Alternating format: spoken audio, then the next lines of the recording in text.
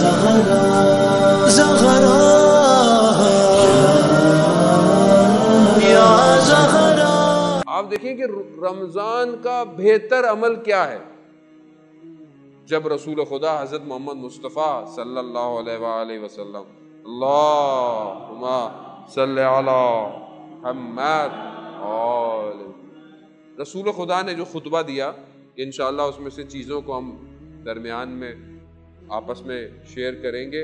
वो जो खुतबा है, जो खुतबा शाबान, शाबानिया के नाम से मशहूर है, जो रमज़ान की फजीलतें बयान कर रहा है, रसूल खुदा ने उस खुतबे में जब तो आप बताएँ रसूल है ख़ातमबिया है, यानी रसालत है, और वो भी रसूल ख़ातम नहीं, आसान नहीं है। पहले नबूत फिर रसालत फिर रसालत के बाद भी साहिब किताब फिर उलुल अज़म फिर उस पर भी ख़ातमनबी यानी यानी बहुत बड़ा दर्जा है।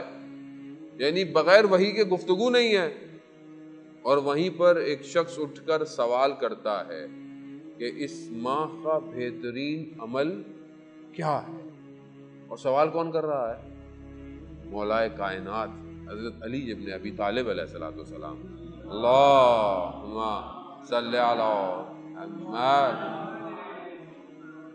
यानी सवाल पूछने वाला कौन है? और सवाल किससे किया जा रहा है? बहुत इंपॉर्टेंट है। यानी क्योंकि हम बहुत लाइट लेते हैं चीज़ों को। इसलिए हमारी ज़िंदगी में मूवमेंट नहीं है। सवाल पूछना वाला, यानी वो जो खुद कायनात का इमाम, वो कह रहा है कि, या रसूल अल्लाह बेहतरीन अमल क्या है इस महीने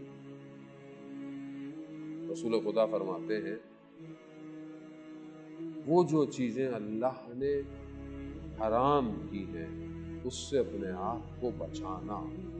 यानी वरा मुहर्रमात से वरा वरा तकवा की लेटेस्ट डिग्री है। तकवा सुनते तो हम बहुत ज़्यादा हैं, लेकिन हमें बाद वक्त पता नहीं होता ना, अभी किसी से पूछे, तकवा क्या है? तो उसको डेफिनेशन भी देना मुश्किल हो जाएगी। क्योंकि असल में हम सुनते बहुत ज़्यादा हैं, लेकिन समटाइम हम इम्प्लीमेंट करने में मुश्किल हो जाता है। तकवा बड़ा सिंपल है। अमल मुश्किल है डेफिनेशन सिंपल है। डेफिनेशन क्या है?